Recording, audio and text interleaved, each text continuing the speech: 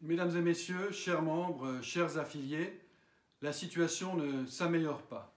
Je sais que vous y faites face avec votre courage, mais vous avez aussi, c'est tout à fait légitime, beaucoup d'inquiétudes. Beaucoup d'entre vous se demandent si nous portons vos préoccupations auprès des autorités. J'aimerais être très clair. Nous le faisons de manière collaborative et coordonnée avec l'ensemble de la fédération, avec l'ensemble des organisations économiques et patronales de Suisse.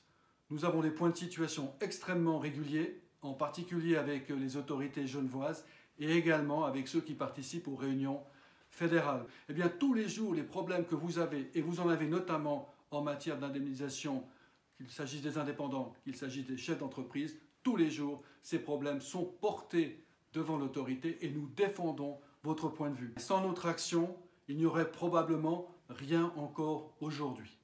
Je suis tout à fait conscient que ce n'est pas forcément satisfaisant en termes de montant, en particulier pour les chefs d'entreprise. Mais je vous redis que nous avons signalé cette injustice en début de semaine déjà aux autorités fédérales. Par ailleurs, nous continuons à vous fournir une information extrêmement précise sur notre site internet. Vous avez également l'ensemble des mesures qui ont été prises par la Confédération et les cantons. Alors je tenais à le dire et à le répéter, nous sommes à vos côtés, nous portons vos préoccupations et nous les défendons. Soyez-en assurés. Comprenez aussi la situation.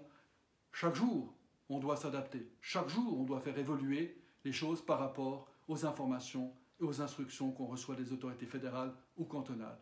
C'est ce que nous faisons. Nous vous informons, nous répondons à vos questions, nous vous orientons. Regardez ce qui est à votre disposition. Si ça n'est pas suffisant, n'hésitez pas à revenir vers nous. Bonne chance à tous. Nous sommes à vos côtés.